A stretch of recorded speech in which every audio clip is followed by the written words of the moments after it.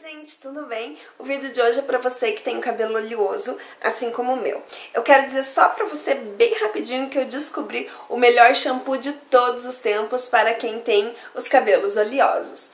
O shampoo que eu descobri, gente, porque eu já utilizei muitos shampoos para cabelo oleoso, é esse aqui, ó.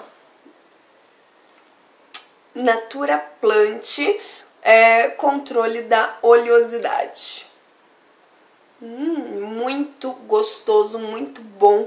O seu cabelo vai ficar bem limpo, bem leve. Eu só tenho shampoo, mas eu quero comprar todo o kit. Se tiver máscara para hidratação, eu vou querer comprar. Eu não sei se tem ainda, mas eu vou correndo atrás. Se tiver acondicionador, com certeza tem, né? Então eu vou comprar. E assim, eu vou falar pra vocês. Esse eu tenho que lavar, eu tinha que lavar o meu cabelo um dia sim, um dia não. Eu lavei ele sábado. E hoje eu não vou lavá-lo, vou lavar daí, ó, sábado, daí passou domingo, que foi ontem, hoje é segunda, hoje eu não vou lavá-lo, eu vou lavar amanhã, entendeu? Porque hoje, tipo, já tá no limite, assim, sabe? Mas eu estou amando usar, tipo, olha, minha raiz não, é, não parece que tá oleosa, nem tá oleosa de verdade, então, para você que tem um cabelo oleoso e quer controlar mesmo de verdade a oleosidade, gente, tenho que falar uma coisa para vocês. Eu fiz um banho de creme, um banho de creme não, um banho de óleo com azeite de oliva no sábado. Era pro meu cabelo tá bem oleoso, né?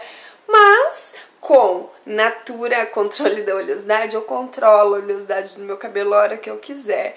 Muito bom, eu estou amando. E olha, eu passei esse shampoo e depois eu passei um, um, um shampoo cremoso, sabe?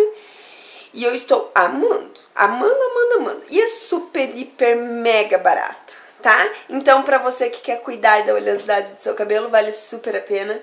É muito em conta, eu vou deixar o preço no meu blog, porque eu não vou lembrar de cabeça agora, mas são os mesmos valores de qualquer shampoo da, da Natura, tá? Então, se você tem um cabelo oleoso, vale a dica. Olha que eu passei é, protetor térmico, aquele Charming Gloss cor-de-rosa, e eu também passei aquele olhinho, olhinho da Fructis, no meu cabelo para poder secar, sabe? E eu acho que esse shampoo tá surti surtindo efeito. Ele tá aqui, ó, ele é bem transparente, ele tá quase no final, mas eu não fico mais sem, tá? Então essa é a minha dica pra você hoje. Tchau! Até o próximo vídeo.